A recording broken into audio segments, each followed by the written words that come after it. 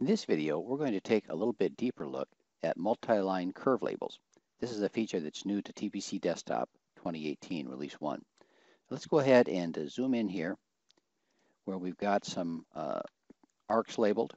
And if I tell Traverse PC to just delineate this traverse, you can see it's, it's not a very big traverse. It's just really from that intersection there through a tangent, through a curve, through another tangent.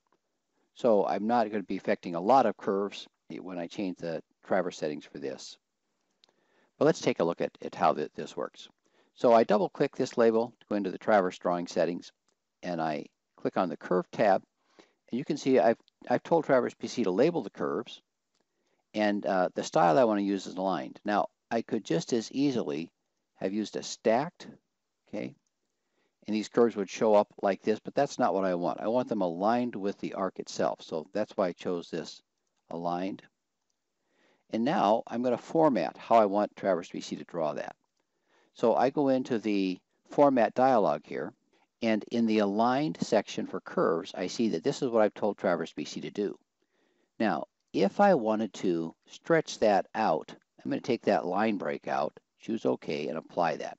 So I've just told Traverse PC uh, with this format to put uh, D and then the delta, R and then the radius, L and the arc length, T and the tangent, but put them all along the curve aligned to it.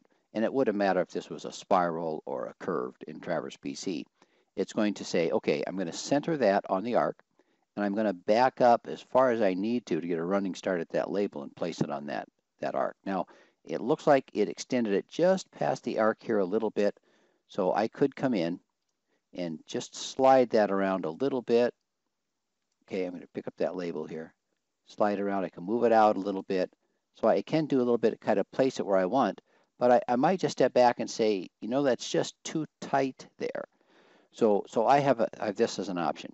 I can go back in and reformat this, and I can tell it I want all the curve labels to have multi-line. So let's put that new line character in there.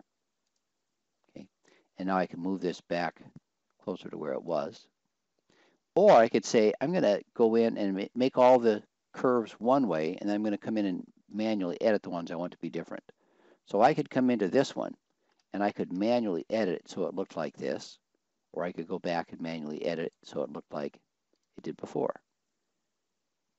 So I can then really have the format take care of creating the multi-line labels, or I can do it manually for each label.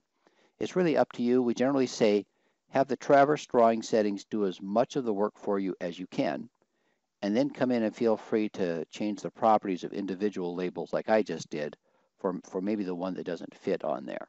But I think between the stacked and aligned and the ability to do the multi-line curve labels, you're going to find that you can pretty much label anything you want Uh, as far as line work inside of Traverse PC.